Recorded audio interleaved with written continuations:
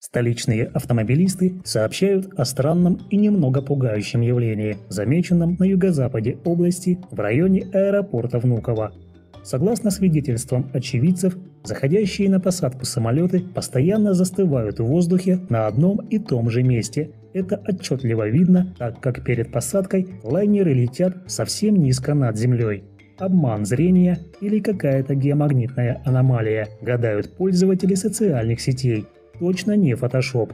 На самом деле, разгадать эту аномалию пытаются уже не первый год, если отследить сообщения на форумах и в соцсетях. Тема то и дело всплывает. Однако далеко не на всех ветках и не на всех ресурсах приходят к однозначному ответу. Новый виток обсуждения начался в эти дни после публикации одним из очевидцев свежего видео с трассы, ведущей к аэропорту.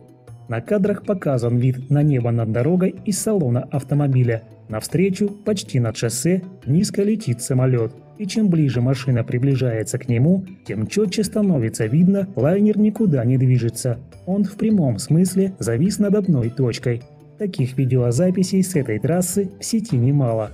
Ролики сняты разными водителями в разное время года и при разных погодных условиях. В свежем обсуждении, начатом в сообществе Лентач, пользователи вовсю шутят. Сбой в матрице. Не баг, а фича – Лентач даже обратился за комментариями к официальным представителям Внуково. Пока что аэропорт никак не прокомментировал эту тему.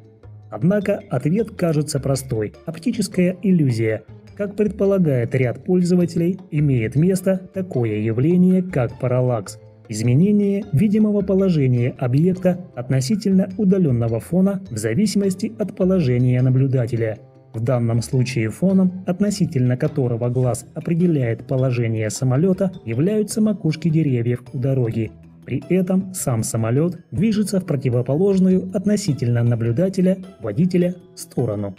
А что вы думаете по этому поводу, пишите в комментариях.